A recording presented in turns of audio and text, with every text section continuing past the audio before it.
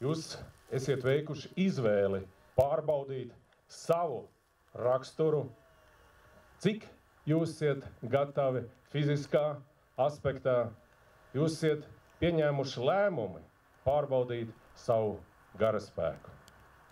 Un šais četrās nedēļās, ko jūs veiksmīgi esat pavadījis šeit, Alūkstas kainieku skolā, ir pierādījums tam, ka jūs esat garā spēcīgi, kad jūs ar savu soli esat parādījuši sabiedrībai, kad ir spēks mūsu nācijā, kuri būs gatavi vienmēr nodrošināt Latvijas aizsardzību.